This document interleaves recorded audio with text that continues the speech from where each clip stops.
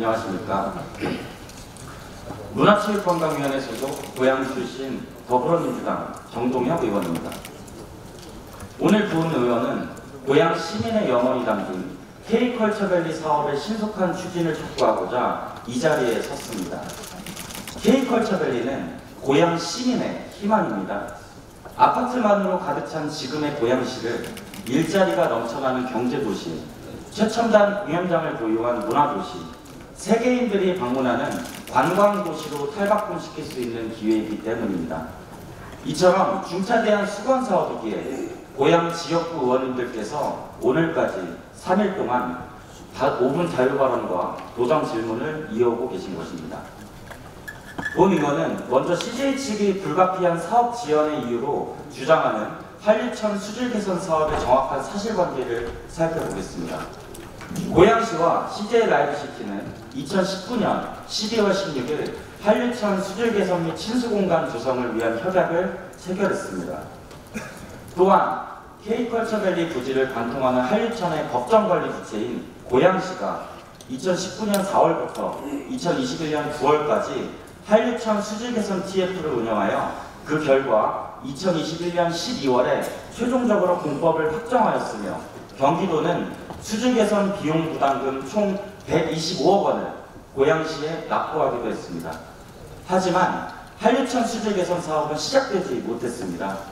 민선 8기 들어서 고양시가 한류천을 복귀하는 방향으로 공법 변경을 결정하였기 때문입니다.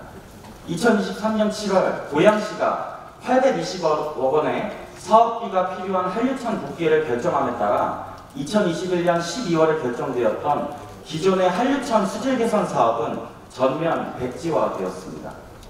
복귀를 포함한 새로운 한류천 친수 공간 조성 사업은 행정 절차를 다시 밟아야 함에 따라 아직까지도 타당성 검토 중 행정 계획 단계에 머물러 있으며 이는 K컬처밸리 사업 지연의 빌미를 만들어 주었다는 이야기가 있습니다.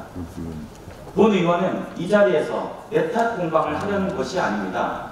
K컬처밸리의 성공을 위해서는 신뢰와 협력의 정신이 되살아나게 하기에 고양시 등 관계 기관과의 투명한 정보 공유와 원활한 의견 조율이 필요하다는 말씀을 강조해 드리는 것입니다. 다음은 김동현 지사님께 말씀드리겠습니다. 지사님께서 늘 강조하시는 경기 북부 대개발이 K컬처밸리의 성공 없이 가능하겠습니까? 지사님께서 지금 이곳에 앉아 계실 때가 아닙니다. 오늘까지 3일 동안 이어, 이어진 본회의가 모두 마치면 서둘러 현장을 찾아 고양시로 달려가서 고양 시민들을 직접 만나 주십시오. 지금은 무엇보다 실망하고 분노한 고양 시민들의 마음을 달래고 경기 도정에 대한 도민들의 무너진 신뢰를 다시 구축할 때입니다. 지사님께서 아무리 멋진 개발 천사진을 만들어낸다고 해도 도민들의 신뢰와 협력 없이는 한낱 종이장에 불과한 그림을 유념하셔서 주민 소통을 현장에서 직접, 직접 이끌어 주시기를 간곡히 부탁드리겠습니다. 존경하는 선배 동료 의원 여러분, 고향 시민들은 8년을 기다려왔습니다. 도와주십시오. K컬처 관리로 인한 20만 개의 일자리 창출과 문화 콘텐츠 산업의 도약은 청년들이 경기 북부를 기회의 땅으로 인식하도록 만들 것입니다. 8년간 수차례 개발 계획을 변경하며 사업 추진을 미뤄온 CJ를 믿겠습니까?